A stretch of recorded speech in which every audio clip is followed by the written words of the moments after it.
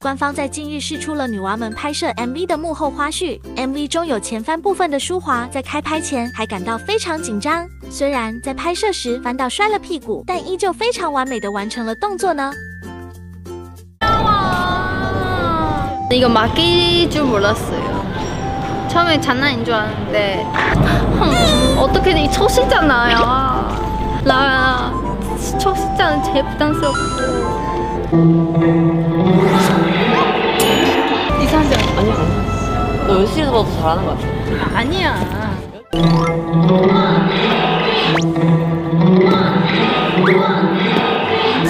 “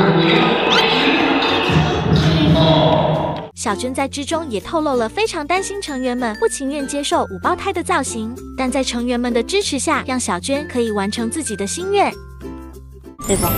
진짜 와이프 쓸 때부터 이렇게 찍고 싶다 했는데 진짜 사실 멤버들 싫어할 수도 있는데 이렇게 다 아무 말도 안 해줘서 너무 고맙다. 나 이제 죽어도 여한이 없다. 진짜 하고 싶은 거 다 하는 거 같아. 소연이 하고 싶은 거다 어, 진짜 데뷔 때부터 하고 싶었거든.